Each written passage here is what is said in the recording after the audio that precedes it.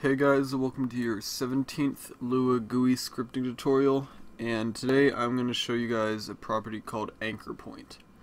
I haven't made a GUI tutorial in a while. I guess there's not that much to show you guys in terms of properties and concepts anymore so I might make uh, specific vi or videos on specific things called uh, or no, I mean just specific topics like a spectate or something. I don't know, but uh, I'm going to show you a new property that Roblox introduced, and it's called Anchor Point. Let me get a frame out. Uh, in the middle of the screen, or close to the middle at least.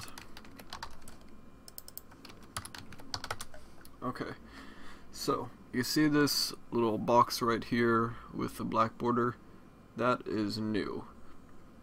So that is your GUI elements anchor point. Right now it's at 0, 0 by default, which is what it's always been at, or uh, as in if you don't alter the property, it won't affect anything yet in terms of well what it does. I need to, I'm better off showing you. So I'm going to change it to 0.5.5 now you see that little box is in the middle of our GUI frame. Change it to 1, 1, and now it's at the bottom right corner instead of the top left.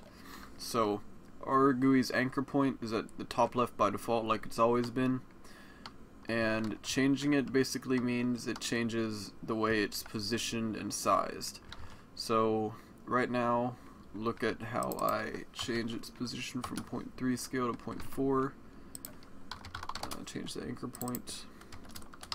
You see it doesn't move the same way because it moves by the anchor point.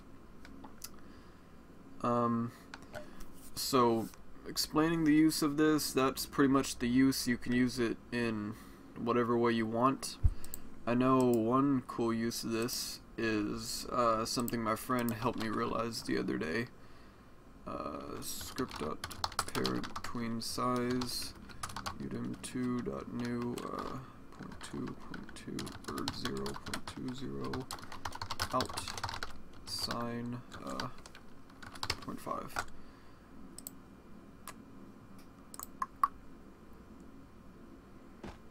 Uh, wait, what did it, okay, I tween position, no, I'm gonna wait one, so I can load in first. So, this property will help you uh, tween your GUIs from the middle of them, which you had to do some weird thing with tween size and position to do previously, but now it's a little bit easier. It can help you make a cool effect cooler. Uh, script.parent.mouse connect function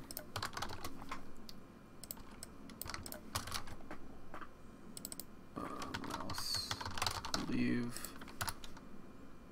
Uh, change that to one five. Interrupt is true.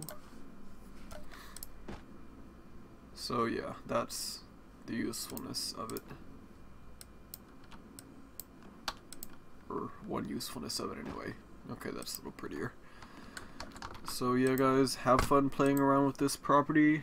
I'll probably upload an intermediate tutorial next within a few days. So I'll see you guys next time.